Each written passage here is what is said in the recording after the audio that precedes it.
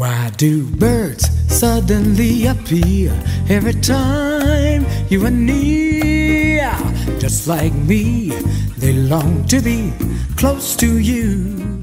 I'm Dr. Willie Jolley, and this is my beautiful bride. This is Dee. You cool now, you can do. Woo-hoo. You cute little thing too. Thank you, dear. She's cute. I love her. I love her. I love her. I love her. Almost 40 years, still got the hots for her. Anyway, hello everybody, wherever you may be around the country, around the world. Um, we're the authors of the book Make Love, Make Money, Make It. Let me not block Dee. Make love, make money, make it last. 10 secrets to shape a great marriage. We've been married, as I said, almost 40 years. In June 28th, 40 years. We'll have to have a party. Anyway, um, greetings, and we are here to to talk to you about uh, marriage and how to improve your marriage. And tonight we're going to talk about a subject that came across our desk, came into our viewpoint that needs to be addressed. Someone needs help on this, which is What was that cute little topic? how to handle when your partner puts you down in public or you get a pu- public put down A public put down. a public put down by your partner. What does that mean? Well, that means your partner uh, says something or does something that is disrespectful, dismissive, That embarrassing. you perceive to be. That That's- the recipient That's correct. That the recipient to be perceives to be, disrespectful, well, it's embarrassing. It's, it's disrespectful, unkind. unkind. It's um, rude. And, and they and they don't do it once. This is not something that happened once. It's it, it's happened more than once. And the person says they're they're concerned about it and they're tired of it. So what do you do? Well, that's what we want to talk about. So uh, let's see. Malika's here. Ooh, this is going to be good. Yeah, you know this is going to be. she said this is going to be good, and you're right about that. This is going to be good. Uh, this is uh, okay. We're on the right IG. Uh, by the way, for those who are uh, on Facebook Live, Instagram Live, or LinkedIn Live, we also have it on IG on a, a separate uh, device. So we're trying to reach as many people as we can at the same time. And one more thing for those who uh, we got to always reach out and say hello to the people who are watching on the, the recorded version of the show. We got we found that a lot of people watch it after the fact or after Monday. Or whenever. whatever after Monday night. Uh, we do it live on Monday night, but a lot of people watch it uh, on on the replay at the Jolley Marriage YouTube. Okay. So imagine this. A how, how do you want to go through this? Why don't you just give the back? The, the- You give the backstory because you might be able to give it better than me. we both cringed. Cringed. Cringed when this happened. in our presence. So how do we be? We were talking, we were talking to someone, It's the end of a, a We- function. a function, right? And someone wanted to talk to me. The person's significant other had gone out to get the umbrella or Yes. and came back to say, I got the umbrella. Are you ready to go? At which time the person said, Person said, uh, Can't you see I'm talking? Ooh, Lord. I don't, and, and I don't know where that came from. Uh, or not, it didn't say, it, it really was, uh, Excuse me, I'm talking here. And it was very dismissive. It was uh, the end of a wonderful Yeah, don't go. afternoon. I know, I I know, I know. We can. It was the end of a wonderful afternoon. Everybody was Up the beat. upbeat, happy, Yes. and we were beginning to say our goodbyes. Yes. And I cringed on the inside. And I didn't know that Willie had cringed on the inside. And then when we got we would got to the car and we were kind of debriefing, I was so sad. Right. So, how do you handle that though? How did it make you feel when you heard it? It made me go, ouch. Ooh. I felt I felt I felt bad for the person I, I had an ouch. was on the receiving end of Yeah, that. I had an ouch. I, I didn't know where that came from. And I thought, why would you you speak that way to someone when you had been so pleasant to them all this time? Yeah. So this is probably not the first time that has happened. And so that said, how do we address that to that person who who wants what do I do here? How do I handle this? The person who had been dismissed. Uh, that was the right word. Had been you you ain't important. Uh, But you also have I think you have to think that the person who made the comments, this is probably a part of their basic communication style. Yeah, but that's not that's that's immaterial. If it's the way they communicate, it still is a problem. And if there's a problem, they have to change their communication. So let's go there first. And you said to me in the car that you have learned to code switch. Talk about that. That's per, that's what we got to start. Okay, okay. So so you introduced a term, code switching. Correct. You mentioned that. You said I learned to code switch because uh, sometimes okay. I'm a hard driver when I'm negotiating. Okay, so or- let's go back okay. for those who might not know. It was something we talked about before, but this is an actual sad case where, where it's applicable. When I say code switch, you speak one way when let's say you're the boss and here's what I need done one, two, three, four. You don't need to be sweet, charming, you know. You at work. so Let's say you- you're at work. You, you work. You're the, you're the boss. You running things. line. Run there, do this. Come on, let's move. Right. up, Bam. or Uh, even and i came up with the term code switching as a result of my having to deal with this business i had to learn this business when i came in with you uh, almost 30 years ago versus what i was used to doing when i was on capitol hill or even when i taught school mhm. and there's a certain language and intonation of one's voice that you use when you're conducting business. And then there's another way when you're communicating with someone socially Mhm. and someone that you have a personal and intimate relationship with. That's still different. Right. So that's code switching. So the sound of your, your voice, the, the the intonation is different. There should be a sweetness and a thoughtfulness and a kindness that is used when you're communicating with someone that you care about and you don't have that edge. I work at it because I know I have. I know I have an edge because I'm usually annoyed about something related to the business. Something to the business. and I I can admit hear. I can hear the phone cr- crash. Somebody No. called No, and been no. a spam, a spam no, caller. No, no, not necessarily. Not, not the spam. scam. Not not the spam call. No, I'm annoyed when I have to deal with certain clientele who may not pay on time. Everybody wants services, but not everybody wants to pay promptly.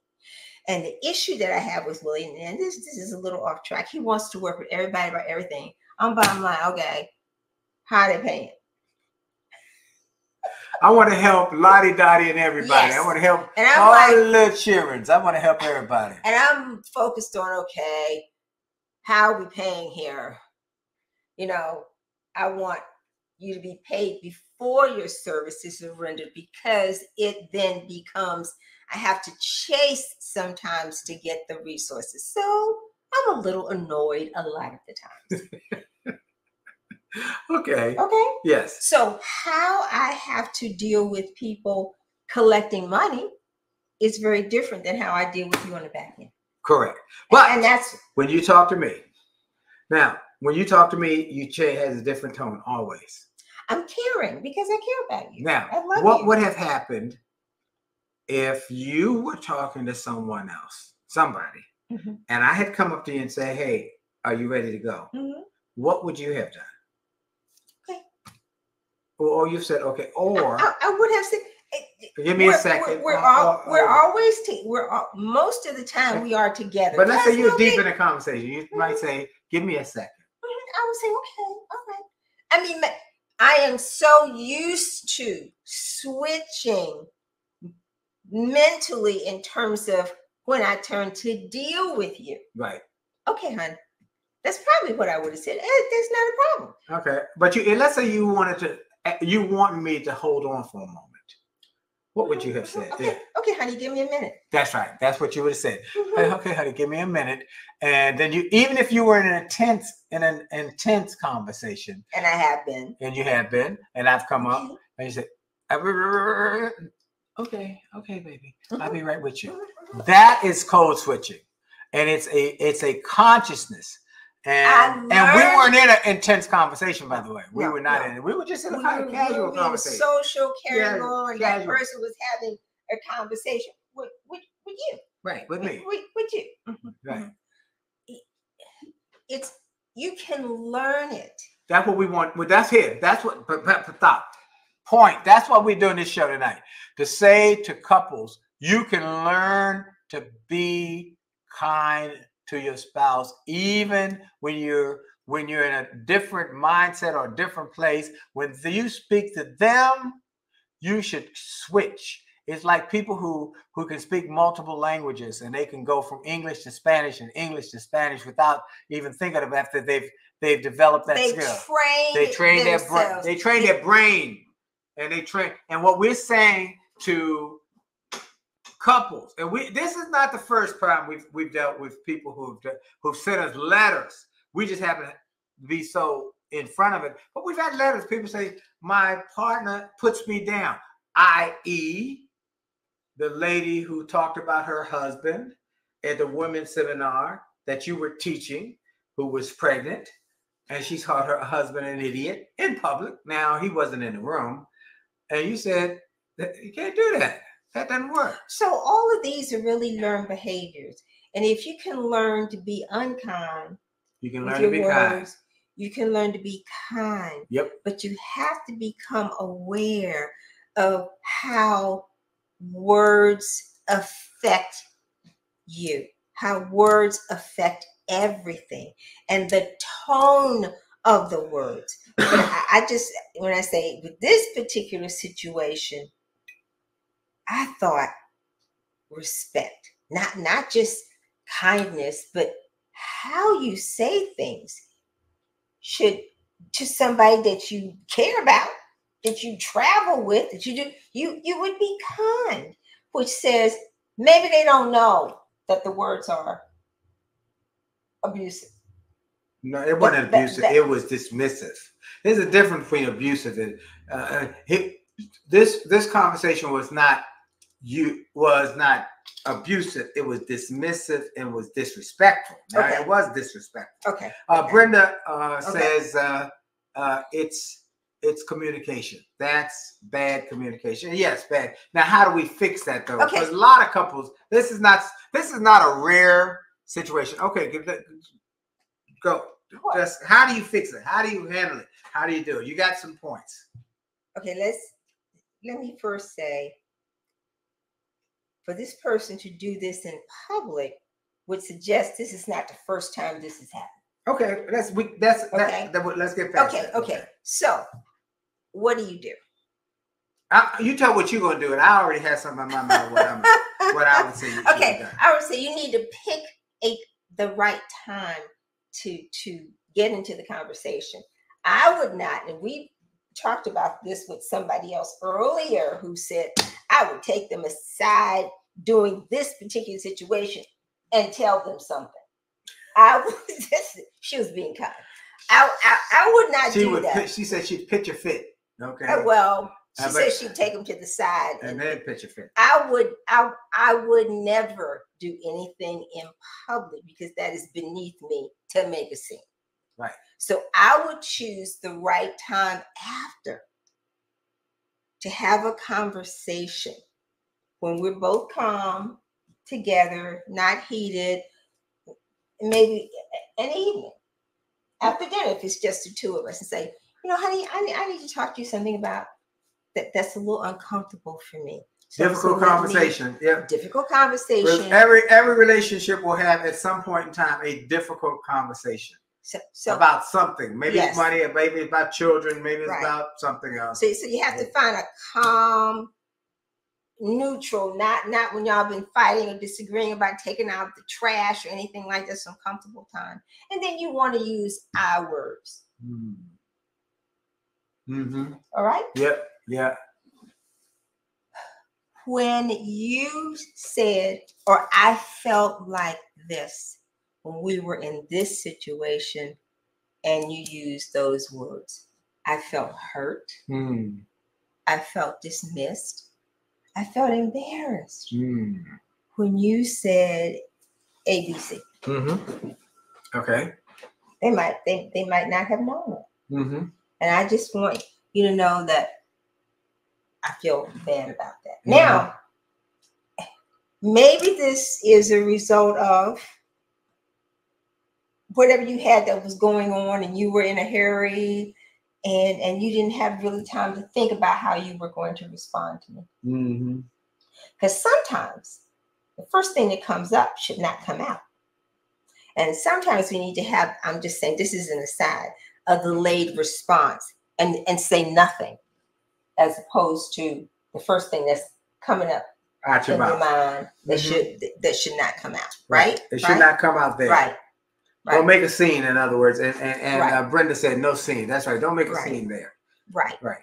Then can you talk about well how how do you think we what's a better way for us to communicate when you might be stressed and upset Mm. and, and you want to we need to have a conversation what are some parameters that we could come up with Mm. right Right.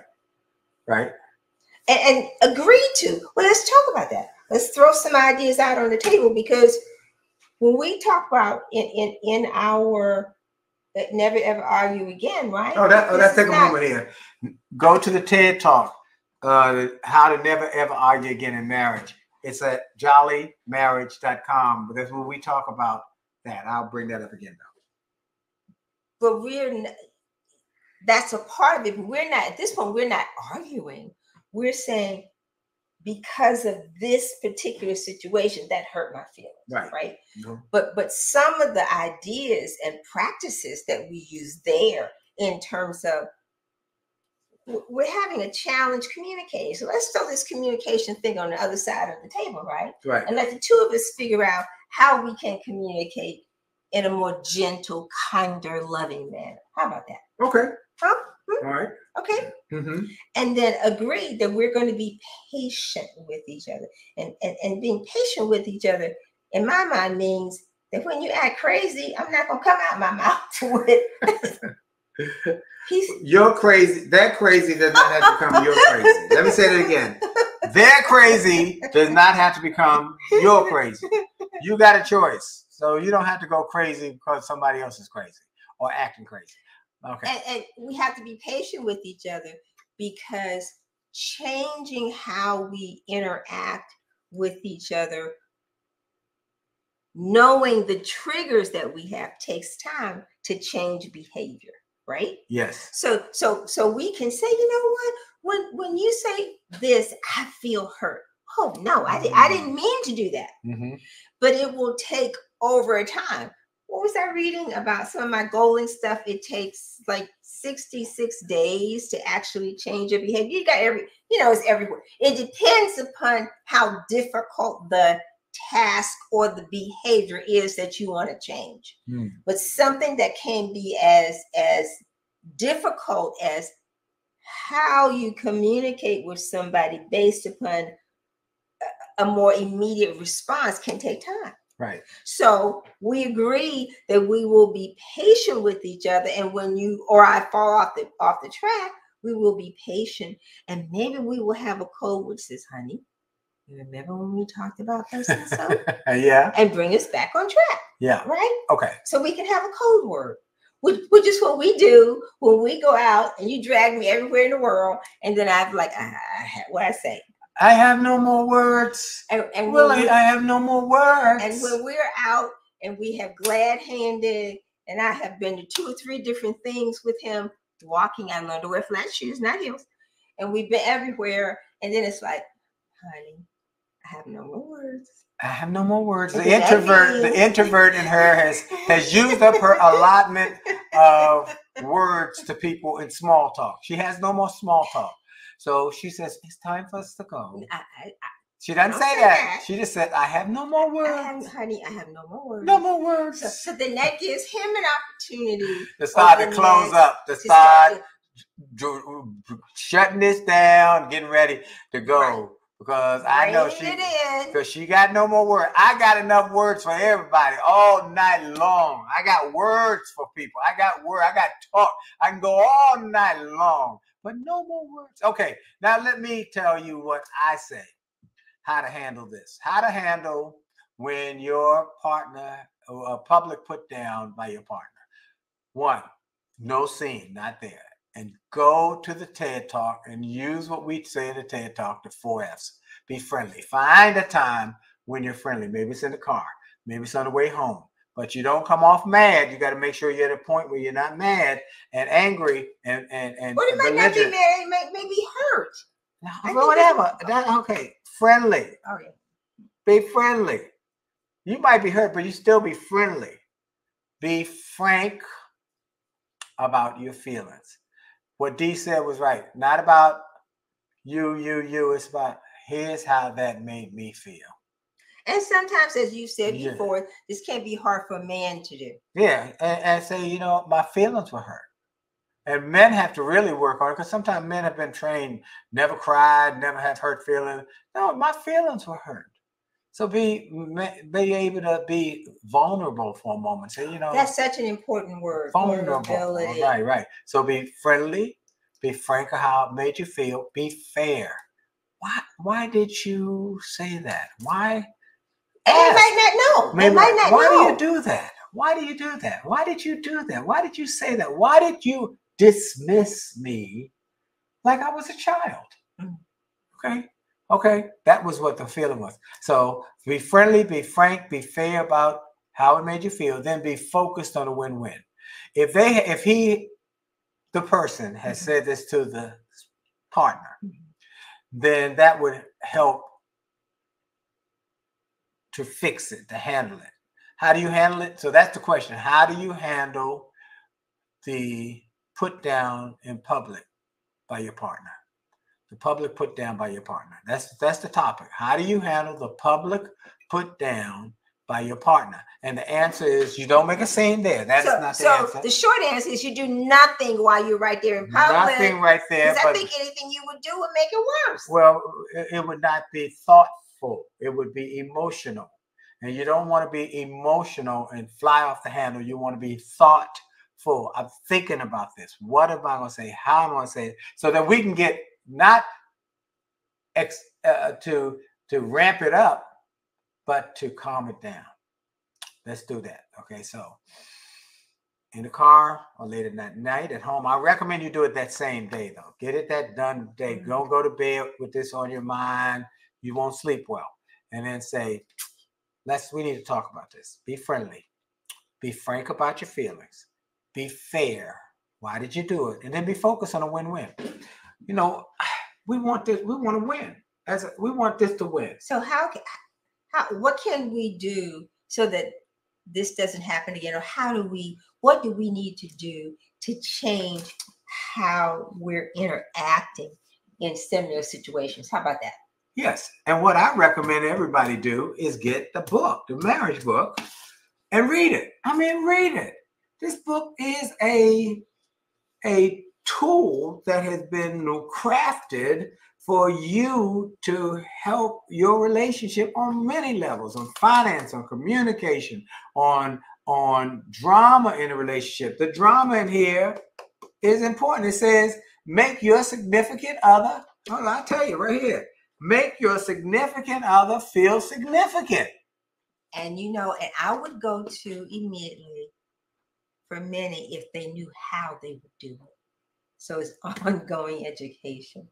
When you say make your significant other feel significant, they may think that that's what they're already Look, doing. look, Brenda just said, I had someone think what they said was nothing wrong with it after I told them how it made me feel. And so that is, and see, a person cannot question your feelings.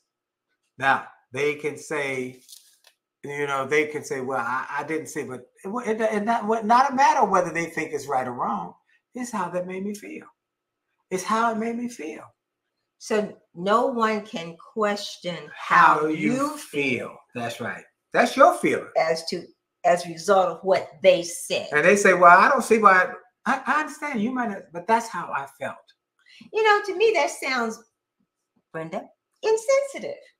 Well, sometimes people have to feel that they're never wrong. And so we're not going to get into it's about you. It's about this, whatever happened, this is how that made me feel. Hmm. It made, and here's a word that you can use. It made me feel devalued. I knew, Mm. I knew you. That's the word. That's the word. That's the word. That's the knew you word were in world. that. That's the word. Mhm. It's devalued. Mhm. Nobody should feel devalued. Nobody wants to feel devalued. It makes me feel devalued. What you gonna say? Then? And if they No, care, it doesn't. if Uh, they yes. care about you, Yes. they will accept that and apologize. Yes. Yeah. And say, let's fix that. And then we talk about code switching. Here's what I would encourage that Yes. person to do. When they're in a, a- a- uh, uh, an intense conversation or stressful of a, remember that their significant other is their significant other. So code switch. Oh, what what what what you need? And code switching is something that you also learn. But right. some of us don't have kind words in our vocabulary. That's true. Do you know that? And you can learn it though. You can. But ha- first, we have to become aware that we spend a lot of our time being to everybody, Mhm. Right. especially during this season, you know, where everybody's like intense Right. with elections. People are unkind. hmm And I think once the atmosphere becomes intense, they just start to spew mean spirited things. And they're not really conscious conscious of it, but it just kind of comes out. So we have to watch our words. And sometimes we need to read. The other thing is, what are some tools that can help us be kinder, thoughtful? We have to read Right. and not the social media snippets. I mean, actually read. Right. Right. Okay. Uh, our time is up for this. Hope this was helpful to you, person B, in the person A B situation. Hope this was helpful, and that you will have the conversation. Be friendly, be frank, be fair, be focused. And then if you share this video with person A, who was the dismissive person, say, just learn the code switch. And um, we can work at this together. It's not something that happens overnight, but first, you have to have the desire to be thoughtful, to be caring, to be kind. And that is something we all can learn. Everybody can learn. Yes. Brenda, thank you for Yes. submission. All of you, she hadn't been able to be here live. She's probably watching the replays, but she's glad to be back live. Thank you, and she said great show. Good to have you back. All the other people who are watching, whether you're watching live, uh, we got so many people who say I watch you. We got to give a shout out to Sharon Pitts. Sharon Pitts, Neil and Sharon Pitts, Aw, who we were with couple. she said, I listen every week to your show. I sometimes make me and Neil watch it. And so thank you, Sharon, for your support. Gladys Pemberton, I They're know you're watching. So many people. Uh, we celebrated the Roosevelt Senior High School had their 50th anniversary. Uh, It was uh, a class of '74. wonderful weekend. It was incredible. I want to shout out Dorita Norman Smith, who was the president. She look, here's what I tell her. She signed up to be the president of our senior class in 1974. She did not sign up for a lifelong presidency, but she stepped up. And she stepped up to the office and and and led this team of high energy, high personality, big personality folks with lots of ideas, with such calm and demeanor and and graciousness. And it was just a wonderful, want to shout out all the planning committee. We had the Larry uh, Allen. Larry Allen, uh, Greg Booker, Dr. Rowe, uh, Angie Jefferson, um, Neil Pitts, uh, everybody who was on it. I might have forgot somebody. Uh, uh, uh, uh, Miss Upshaw uh, Holder, uh, Deborah Upshaw Holder was wonderful, as well as oh, the uh, Parkers. the Parker, James and Lane Parker, and um, Paul Brown and Sheila Douglas. Oh, we just had a great uh, committee. Oh, Janelle Sims. Janelle Sims was fantastic. Mm. So anyway, want to shout all of them out. We had such a great time. Thursday night a fellowship. mixer, Friday night a gala, Saturday a picnic, and Sunday worship together, followed by a first class luncheon for the for the uh, uh, offered by presented by Shiloh Shiloh Baptist Church Baptist Church, in Washington and P. Street. Ninth and Ninth P, Northwest, Northwest. Washington, D.C. Yeah. was fabulous. Great message, great music, Great and then great fellowship. What a great time. So, uh, thank you, Sharon Pitts, for, for staying co- connected to us and watching, and all the others who watched and came up to us and tell us that they watched the show. Our time is up. we going out. Oh, you took my little mouse. Okay, that's all right. Yeah, That's all right, sweetheart. yeah. I love you. You can you can take my little mouse. You can take whatever you like, but I love you. See y'all next week.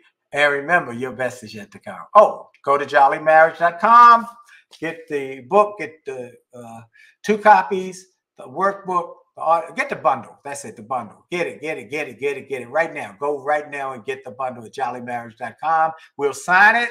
Okay, boom, we'll sign it for you. And then also watch the TED Talk at jolleymarriage.com and then share that with everybody you know. We don't want people arguing. We haven't had an argument in 38 years, and people don't believe it when we say it, but it's true. That's because So- you always right. Well, usually, but uh, see, you thought you were. I'm gonna use that. Anyway, we'll talk to y'all later.